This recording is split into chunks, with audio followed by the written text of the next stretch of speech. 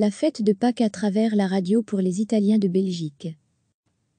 En région liégeoise, mais pas seulement, la communauté italienne est très présente. Pour les chrétiens, la fête de Pâques est un moment important célébré habituellement du côté du centre social italien de recours, ou encore dans la communauté de Serein.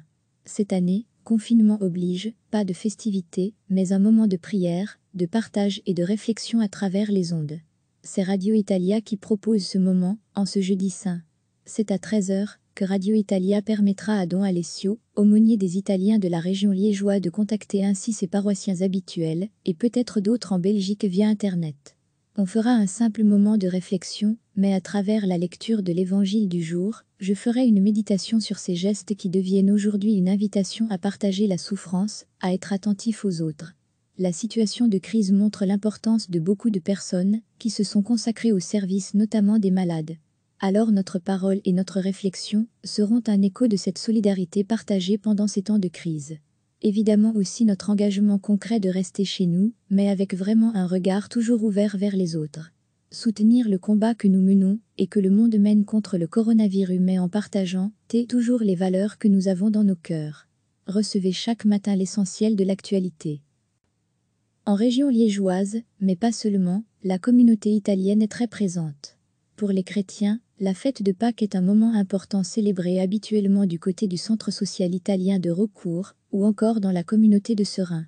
Cette année, confinement oblige, pas de festivités, mais un moment de prière, de partage et de réflexion à travers les ondes. C'est Radio Italia qui propose ce moment, en ce jeudi saint.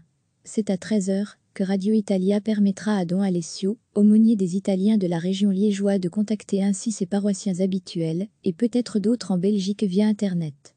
On fera un simple moment de réflexion, mais à travers la lecture de l'évangile du jour, je ferai une méditation sur ces gestes qui deviennent aujourd'hui une invitation à partager la souffrance, à être attentif aux autres.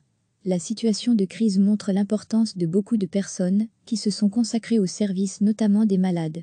Alors notre parole et notre réflexion seront un écho de cette solidarité partagée pendant ces temps de crise évidemment aussi notre engagement concret de rester chez nous, mais avec vraiment un regard toujours ouvert vers les autres.